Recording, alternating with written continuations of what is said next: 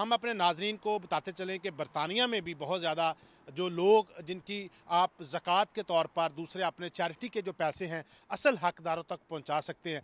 आज जो है हम पाकिस्तानी ओवरसीज़ जो है हमारे साथ, चौधरी शाह साहब मौजूद हैं, जिन्होंने यहाँ पर ओपन किचन कई सालों से मुकीम है और लोग यहाँ पर बिला तफरीक जो है वो खाना ले सकते हैं। आप इस वक्त देख सकते हैं कि लाइन में लोग लगे हुए हैं और किसी किस्म की कोई रजिस्ट्रेशन नहीं है जिससे आप एम्बेरस फील करें। हम पूछते हैं उनको कि सर ये कब से और क्या इसका मकसद है?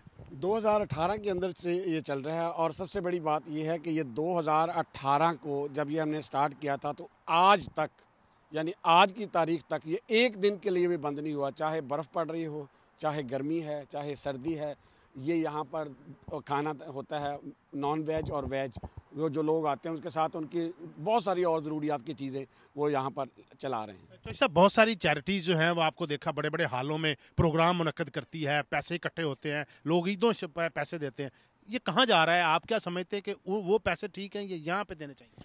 ओवरसीज़ के अंदर जहाँ जहाँ पर भी आ, कोई डिज़ास्टर होता है ब्रिटिश गवर्नमेंट भी इसमें इन्वॉल्व होती है। अगर कोई सीरिया के अंदर अगर अगर आप आप आप कह लें कि पाकिस्तान कश्मीर के अंदर अभी पाकिस्तान का जल्जला है तो गवर्नमेंट ऑफ़ बरतानिया भी खुद उसके अंदर इन्वॉल्व थी। मेरा सवाल ये है कि जब यहाँ पर ऐसे मसाइल हैं और यहाँ के हम रहने वाले अपने यहाँ से पैसे कमा कर हम ओवरसीज़ को भेज रहे हैं तो उनको चाहिए कि उन चैरिटियों को चाहिए कि यहाँ पर भी वो यहाँ के मकीम जो गरीब लोग हैं उनके लिए भी कुछ ऐसा अहतमाम करें जिससे हमारा यहाँ पर वक़ार अच्छा हो जिससे हमारी इज़्ज़त में इजाफ़ा हो कि ये जो पाकिस्तान से इंडिया से और सऊदी अरेबिया से जो मुसलमान लोग आए हुए हैं ये ब्रिटिश गरीब लोगों के भी हेल्प कर रहे हैं। तो सर कितने लोग रोज़ाना खाना खाते हैं? थ्री हंड्रेड प्लस ये लोग जो आकर अपना खाना यहाँ से लेके जाते हैं और ये पूरा साल ये सिलसिला चलता है। अप्स एंड डाउन आते रहते हैं उसके अंदर जब क्रिसमस होगी तो इसमें कमी आ जाएगी, क्योंकि क्रिसमस के दिन चार, पाँच छः दिन जो हैं, ये लोग अपने, इनके कोई दोस्त ले जाते हैं, कोई उनकी फैमिलियाँ जिन्होंने निकाला हुआ है घर से,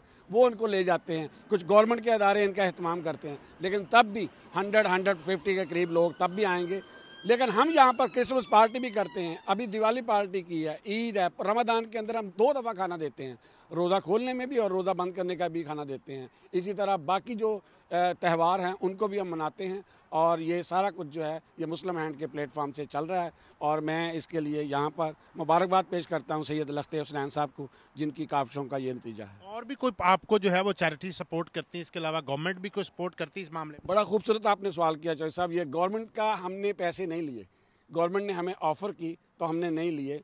मुकामी गवर्नमेंट ने भी की, सेंट्रल गवर्नमेंट ने भी हमें ये ऑफ़र किया कि हम आपको फंडिंग करना चाह रहे हैं। जो जो यहाँ की स्टेट टेलीविज़न है, उन्होंने इस पर डॉक्यूमेंट्री बनाई है। मेरा मकसद ये था कि अगर वो स्टेट हमें फंडिंग हो जाती है तो हमारे साथ एक लेबल लगता है, funded by government, funded by lottery, funded by London borough of Hounslow हम तो मर गए ना फिर।